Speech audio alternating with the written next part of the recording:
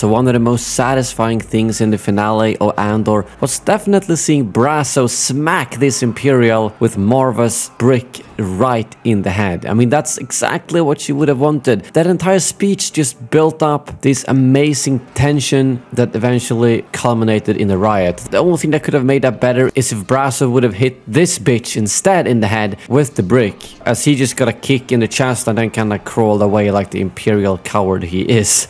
But it would have been so satisfying if that guy was taken out by Marva's brick, but nevertheless, seeing that brick smack was awesome, as well as the anvil guy who kind of did like a this is Sparta kick on the stormtrooper to send him flying down the tower. And although there was a lot of satisfying things happening in this battle, I was kind of sad to see how slaughtered all the people there got. I mean, it was realistic for once. Basically a bunch of people with guns against unarmed civilians. Sure, they fought back and tried to throw rocks at them and whatnot, and they blew up the bomb as well, which was probably what did the most damage. But overall, they were severely undermanned and therefore just got absolutely slaughtered. One thing I really hope is that in the next season, even though it's probably going to be like a year ahead, they will give us a little bit of explanation of what the repercussions was after this riot and maybe how the Empire tried to cover the slaughter up because Aldhani obviously had a huge impact on the Empire so I would love to hear what this event on Ferrix might have done as well.